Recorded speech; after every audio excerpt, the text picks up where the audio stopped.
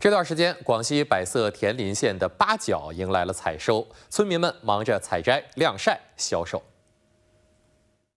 广西百色田林县共有八角林二十一万多亩，农户们说，八角每年立春和立秋后可采摘两次，现在正在进行第二次采摘。收上来的八角会被送到当地的农副产品经营部进行统一加工销售。在当地的八角加工基地，成片的八角铺满晒坪，工人们不时用工具进行翻晾，使其受热均匀，提升八角的品质。